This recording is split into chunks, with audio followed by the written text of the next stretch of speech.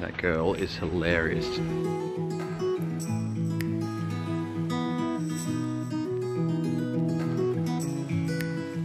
Have a look how beautiful it is out here today.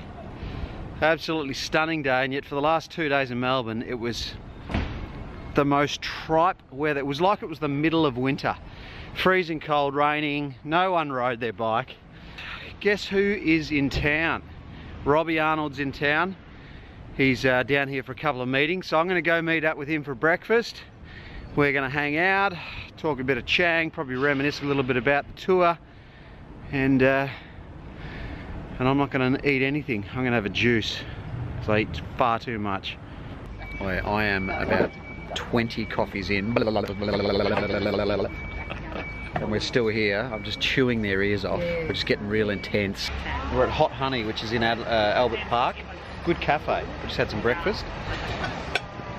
You guys remember this guy? Just There you finished go. a mouthful of chickpeas. I'm back. Getting the camera poked in my face. No, no. And this is Luke. Good morning.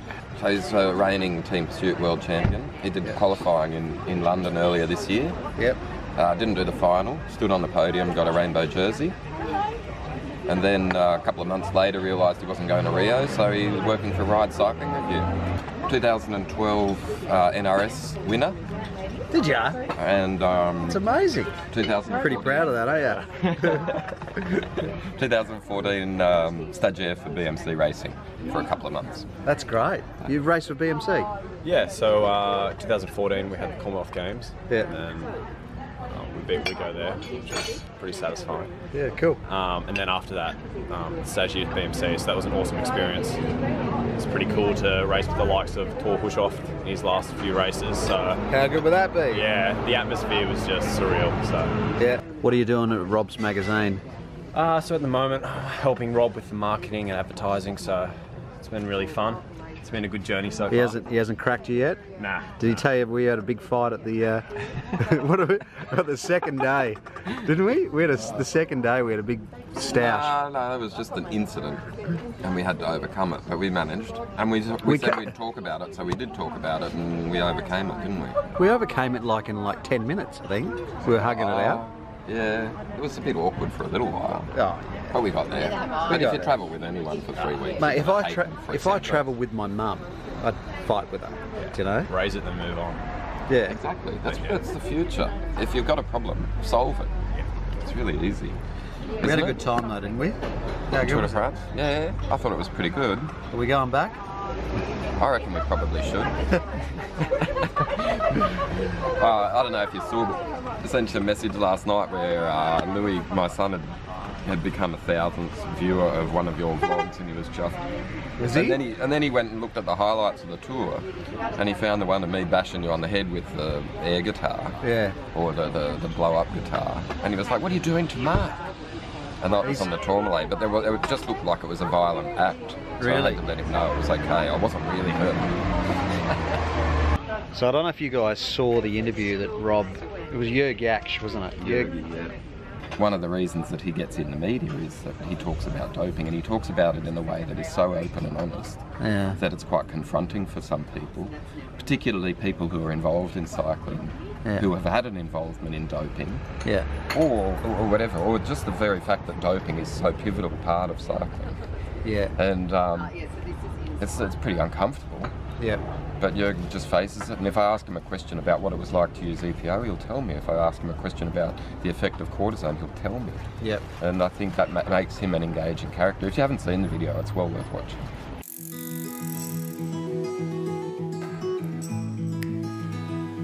So the start of the Giro was in Sardinia, and we were sitting. Tyler Hamilton and me were sitting in the, because he was also riding for Tinkoff at that time. We were sitting in the car, and there was our sports director and Tinkoff, and Tinkoff was calling the UCI, and it was just in the time where actually you know a year before Operation Puerto happened, then all the team managers, amongst them, most of them that I met, encouraged us to dope. But the team manager said, from a moral perspective, because you're suspicious, to have doped. You could have some blood bags with Fuentes, and I didn't confess at that time. They said no, you're not allowed to ride.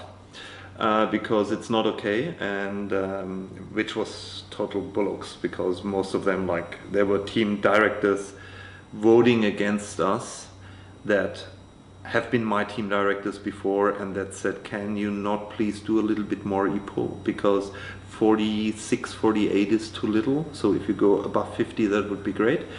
And so anyway, so there was this kind of decision of the team directors that no one who is suspicious should ride. Should. And um, so Tinkoff, and you have to say that Tinkoff at the end of the day, he's not a hypocrite, which was very good. He did not care. He said, are you allowed to ride? And I said to him, yes, I'm allowed to ride, legally. And he said, okay, then you ride, for, like he does, uh, okay, then you ride for my team.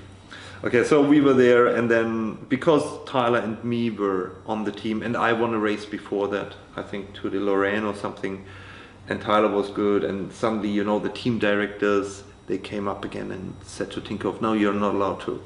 You should not let them ride." And Tinkoff said, "Like I don't care."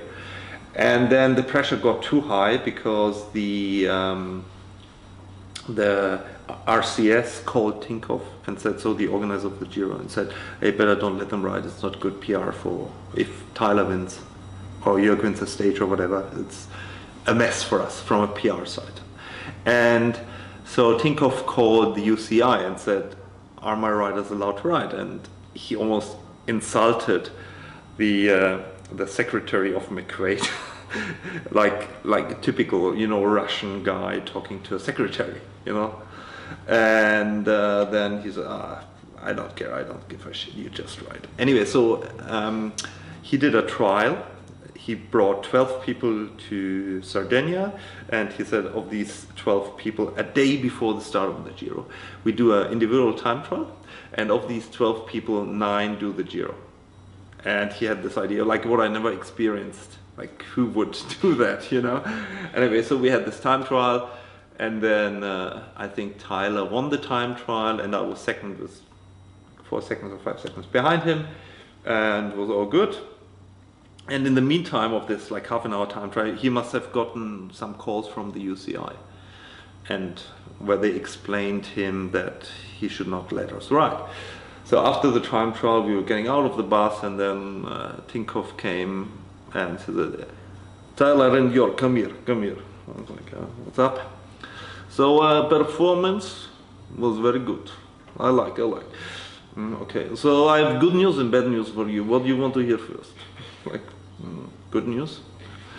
Okay, Tyler, you won time trial. Very good, you're very professional, I like. And Jörg, you're, you second, only like five seconds behind, but good performance, good performance, like. You're professional, okay. What's the bad news? You don't ride. and then like, how do, why? Like, no, you don't drive. You're like, get out of my sight, get out of my vision. I don't want to see you. And they're like, okay.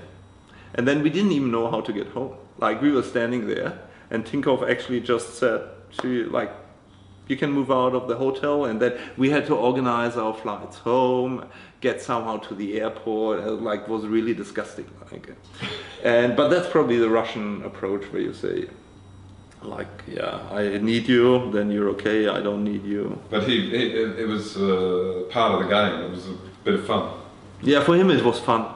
Yeah. If for him no no it's like it's like for him it was fun. We were suffering. We were like what should we do now? And then yeah well we flew back to lucca i think or to pisa. Anyway so um, yeah and then i i got this call like two or three months later i confessed and then I said that on every big team I've been on, there was organized doping, and I got a call from Tinkoff.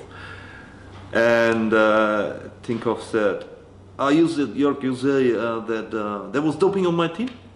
And I said, "No, no, Oleg. I said on every big team."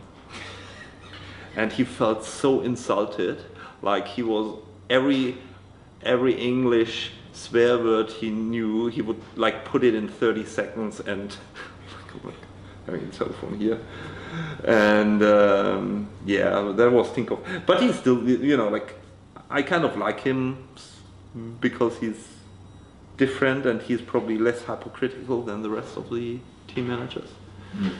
But um, yeah, we won't see him probably for a long time in cycling. Is that a shame, or uh, what, what do you make of his influence on the peloton?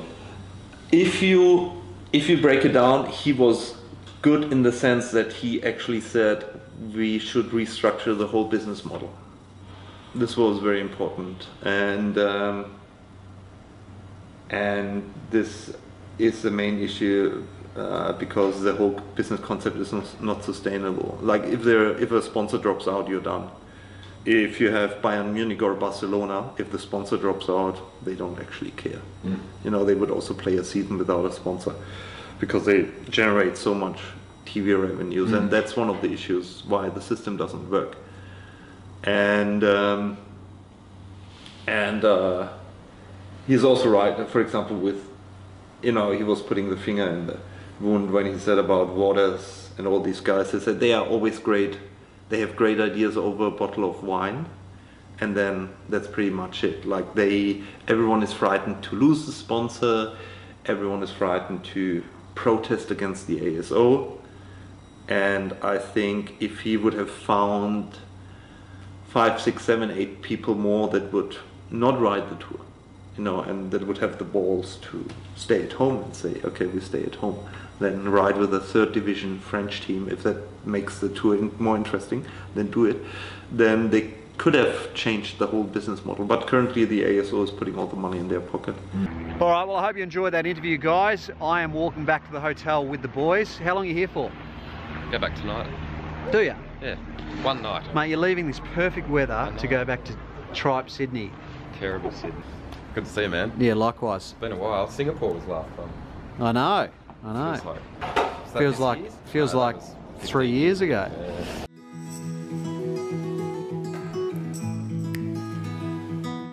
Will you ever race again? Like you're working with Rob. Would you? Do you think you'll ever race? Unlikely. I think probably just uh, enjoy the event scene and, and try and just get back on the bike for the right reasons because I enjoy riding. Um, Yeah. I don't know if racing is really a goal of mine to sink 500 k's a week into training for a club race. I don't think that's something that's on the radar at the moment. But who knows? I think at this point, just trying to enjoy it and really wrap my head around the other aspects of cycling.